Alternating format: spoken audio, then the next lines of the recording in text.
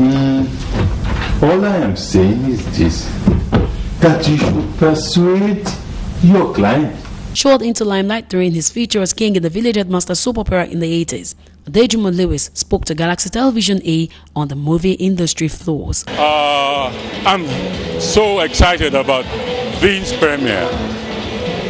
But with the movie industry, um, I have serious reservations.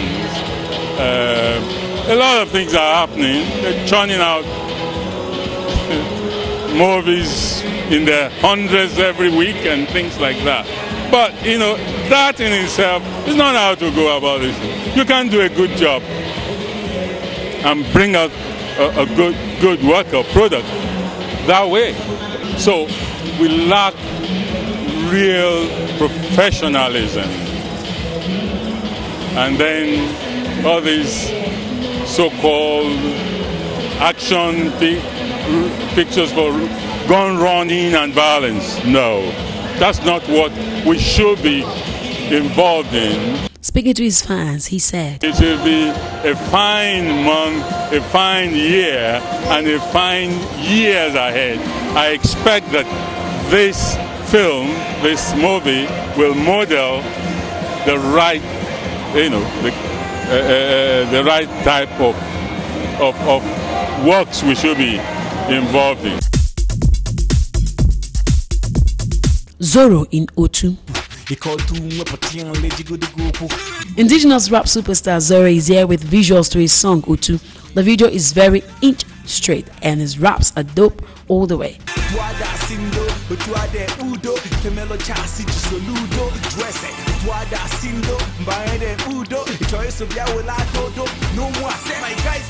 This is one artist to watch out for as he is a clear definition of the fact that indigenous rap is gaining grounds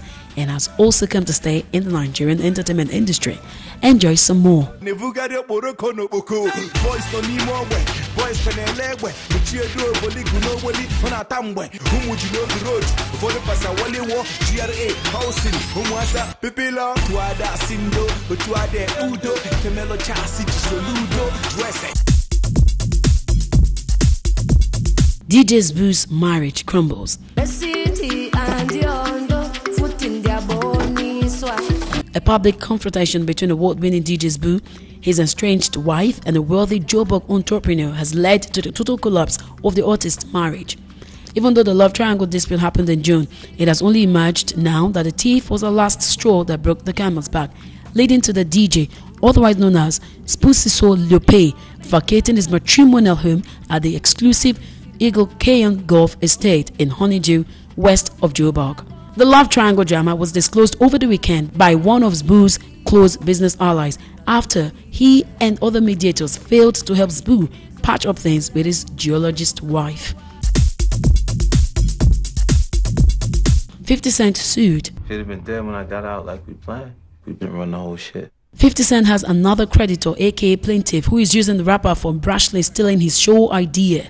Larry Johnson claims he wrote a manuscript, Tribulation of a Ghetto Kid, and in 2005 sent it to Nikki Turner, who works for 50 at G Unit Books.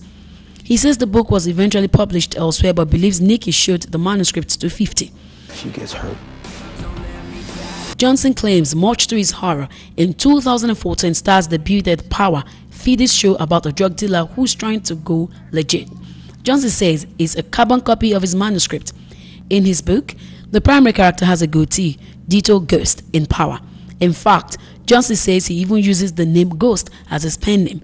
And Johnson says in his manuscript, the main character's best friend has a short fuse just like Tommy in Power. In Johnson's manuscript, the main character owns the hottest club in Atlanta. In Power, Ghost has the hottest club in New York City. Johnson is looking for $200 million to make things right. Mm.